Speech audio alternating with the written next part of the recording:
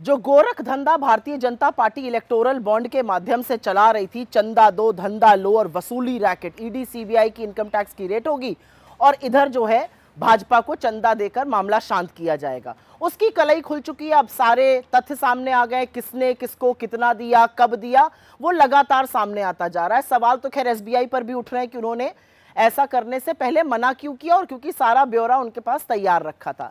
एक ये एड था, एक ये विज्ञापन था, जिसमें हम आठ हज़ार दो सौ बावन करोड़ का चंदा जो भारतीय जनता पार्टी को मिला है, उसको पेपर में छपवाना चाहते थे।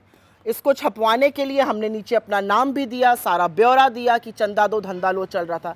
इस विज्ञापन को छापने से मुख्य जो अखबार थे, उन्होंने मना कर दिया। वो डर गए, उन्होंने कहा, हम ये नहीं छाप सकते हैं। जबकि ये विज्ञापन था, हम इसके लिए पैसे भी दे रहे थे। ऐसा क्यों है? ये डर और ये आतंक का माहौल क्यों है इस देश में?